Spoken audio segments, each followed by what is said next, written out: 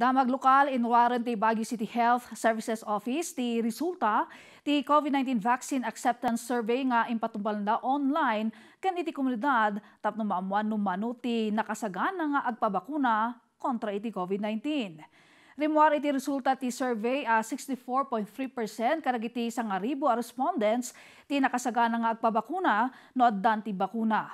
Kang runa na rason na gitoy kat para iti proteksyon, maliklikan ti panagwaras ti COVID-19, immunity, kan tapno agsublin iti normal ti amin. Kabiyatan na 17.5% ti nang ibagaasan daa kaya ti agpabakuna, gapu iti amakda iti side effects. Saan na 100% ang natalgad ti bakuna. Tengbak siya, kan saan aday ito iti solusyon tapno marisot ti pandemya. 18.2% man ti sana sigurado wenno adaan iti panagduadwa kaputa kayat da nga urayan pa iti kanayunan a panagadal. Adda dagiti may pangruna a mabakunaan ken gapo iti side effects. Dagitoy dagiti tarigagay nga ipaayan met iti aksyon ti maseknan nga opisina.